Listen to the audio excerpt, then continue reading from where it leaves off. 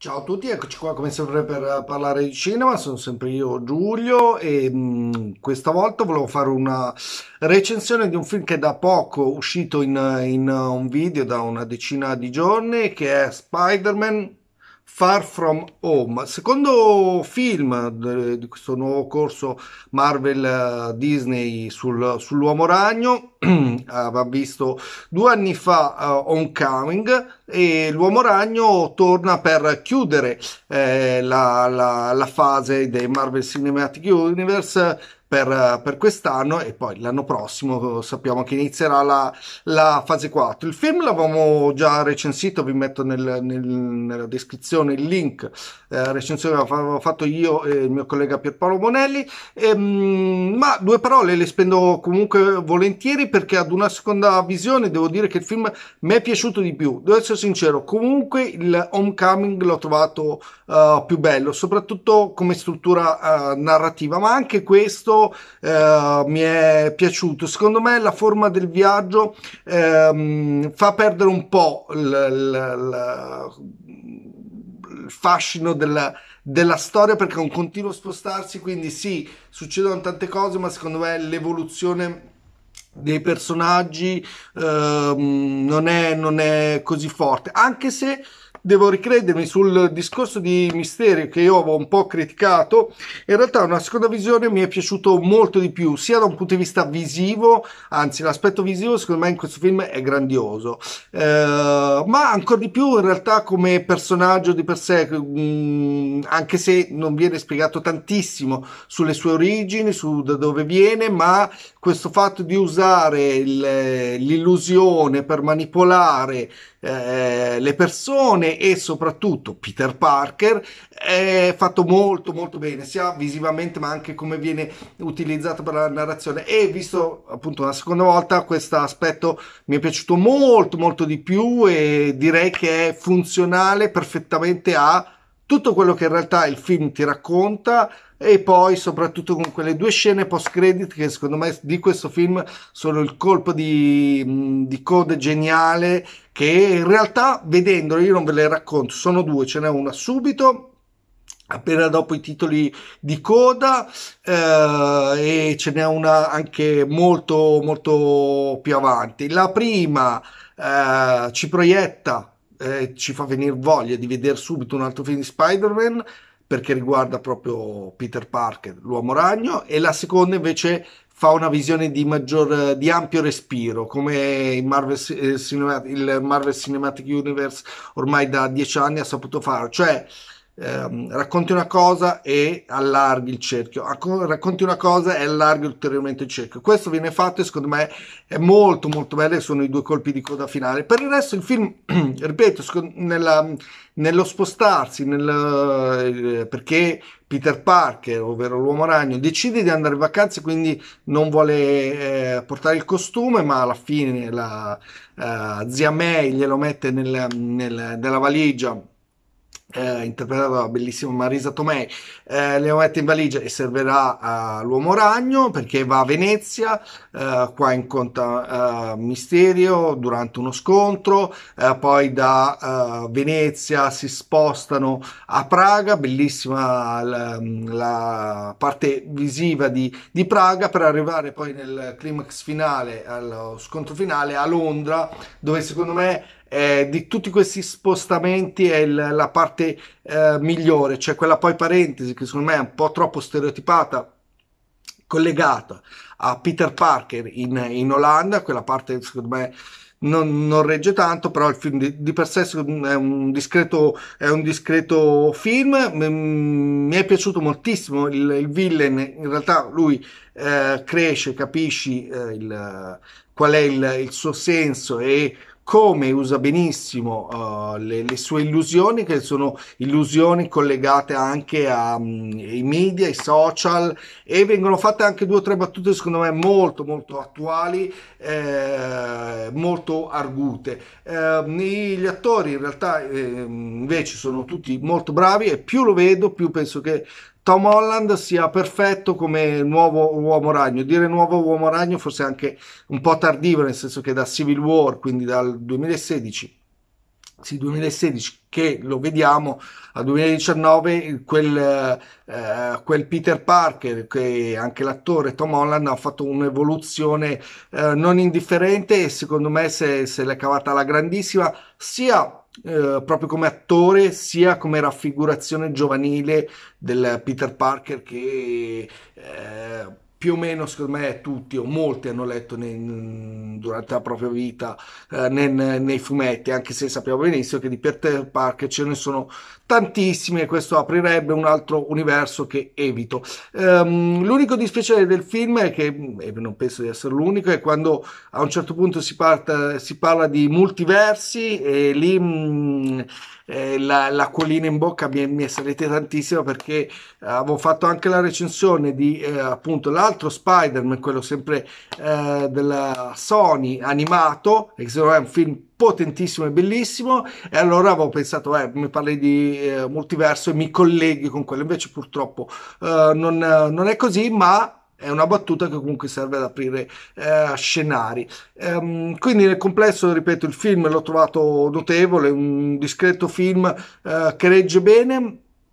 il, il ritmo uh, che è molto molto spettacolare e ha un bellissimo uh, villain. Per quanto riguarda invece i contenuti speciali oh, questa è la cosa che mi piace tantissimo anche per questo faccio le recensioni a un video proprio per parlare dei contenuti extra e più ce ne sono e, e meglio è. E nella fattispecie mi sono fatto anche un bel po' di appunti. Uh, nei Spider-Man Far From Home ce ne sono veramente una, una marea, proprio c'è più di un'ora, anzi tipo un'ora e un quarto, un'ora e venti di, anzi ve li conto, 6, 11, 16, 22,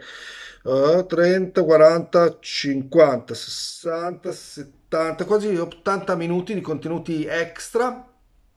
Uh, devo dire, eh, pensate in maniera molto giovanile, molto smart. Io amo più in realtà i contenuti extra uh, dalle clip lunghe, o meglio, uh, sì, clip lunghe, filmati lunghi, dove poi all'interno magari dividi il discorso, lo sviluppi, lo svisceri nei particolari, però mi, de- mi dai una continuità. Invece qua sono tantissime, ma tantissime, del tipo di una quindicina di clip, uh, ognuna specifica in una, un argomento, la media è 5-6 minuti a, a, clip, si parla esattamente di quell'argomento, ma in poco tempo, secondo me, riesce, riesco a spiegare bene il lavoro che è stato fatto. Nella fattispecie, eh, vabbè, il, in realtà i contenuti extra iniziano con un corto. Eh, con, eh, con un corto che si chiama Cose da fare eh, di tre minuti, in tre minuti in cui c'è, c'è tutto il eh, anzi non ve lo dico cosa, cosa, c'è, però è un bellissimo corto di tre minuti. Poi ci sono le, ovviamente le solite gag, le scene tagliate, di cui ce n'è una. Um, secondo me è particolarmente bella al ristorante con, uh, quando c'è la, la, rissa con i gangster che l'uomo ragno tira fuori tutte le, le sue armi del, della sua fantastica tuta di, eh, fatta da, da, Tony Stark. E una clip nel, appunto nel, un pezzo de, nel film è stato tolto però si vedevano anche se non ricordo male in un trailer c'era questa, questa clip. Però di altre clip significative secondo me non, non ce ne sono. Poi c'è eh, una, una, clip eh, che racconta il, il viaggio che fa Peter Parker nei vari spostamenti quindi vari eh, luoghi, poi c'è il, il, l'evoluzione, la clip sull'evoluzione del personaggio eh, Uomo Ragno e Peter Parker. Da quando, abbiamo visto, da quando l'abbiamo visto la prima volta in Civil War fino ai giorni d'oggi di come lui è cambiato soprattutto anche sia quando entra negli Avengers sia quando perde il suo mentore eh, Tony Stark e, e, quindi Iron Man e quindi eh, lui si sente cioè viene quasi, secondo me è una cosa che nel film viene spiegata bene, eh, quasi viene investito di, un, di una carica, di, un, di, una rappresentanza che lui forse non si sente ancora di, uh, di avere o magari non si sente pronto di, di, avere perché comunque un adolescente è come se, tra virgolette, concedetevi, perdesse uh, il suo genitore, appunto il suo mentore Tony Stark eh, per diventare subito più grande quando in realtà però sei ancora un ragazzino e quindi quella è una cosa molto, uh, molto delicata e secondo me il film lo, lo spiega molto bene oltre al fatto che Tom Holland, ripeto, è molto molto bravo a interpretare. Poi c'è il, um, un'altra clip in cui uh, vedete l'evoluzione dell'uomo ragno, l'evoluzione della, della tuta, che, che, è una di quelle clip che me, mi piace tanto appunto vedere anche a livello di costume, di preparazione, sia a livello di CGI e effettistica, sia a livello proprio di tutte, perché eh, nei backstage che ci sono in tutte queste clip eh, si vede spesso i Tom Holland e Jackie Gyllenhaal o con la tutina per il motion capture oppure con le con la, il costume vero e proprio e poi in post produzione viene tutto uh, amalgamato, viene tutto omogeneo e gli effetti speciali fanno un lavoro incredibile. Poi cos'è che c'è? Ve l'ho detto, uh, le armature, eh, il concetto di, uh, di Avenger, la sua evoluzione, il personaggio Misterio, uh, in breve, perché sono sempre clip uh, abbastanza veloci ma densi di, di, di, di, materiale, anche qua tipo 5-6 minuti. Uh, il, il, parallelismo tra Mysterio nei, nei fumetti e Mysterio nel, nel, film e si fanno vedere anche come in realtà certi disegni eh, sono stati resi eh, animati, tra virgolette, nel, nel, film, cioè sono stati resi perché ci sono delle vignette dove vedi Misterio che si comporta in un modo e anche nel film esattamente le sue movenze, il suo modo di, di combattere. Secondo me quella è una delle cose più belle che possa avere un cinecomics, cioè riprendere e trasformare quello che è statico in, su carta stampata in dinamico. Poi cos'è che c'è? Il discorso del viaggio, una clip sul viaggio, sugli spostamenti, il, il ragionamento che è stato, è stato fatto, ovviamente in primis per una questione eh, di economica, perché il film, il primo Homecoming, eh, è stato un successo incredibile, anche parte, in parte inaspettato,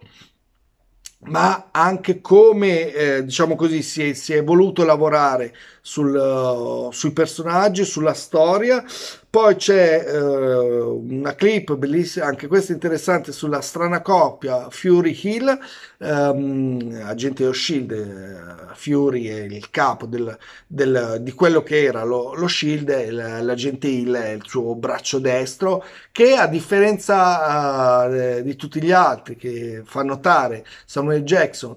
viene chiamato Fury, lei è l'unica che lo chiama Nick.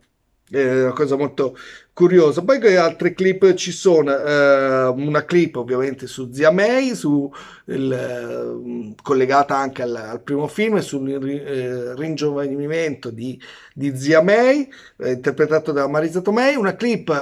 mm, carina su tutti gli easter eggs che ci sono in realtà nel, nel film, su tutti i riferimenti che ci sono nelle, nelle varie scritte o anche eh, disegni o qualunque cosa che compaia proprio nel, nel, film viene spiegato perché è stato messo e chi è il riferimento di quelle ad esempio non so ci sono delle scritte a Venezia alcune piazze hanno dei nomi degli stessi autori del film della crew del, del film sono una cosa molto carina. E poi ci sono due clip più sostanziose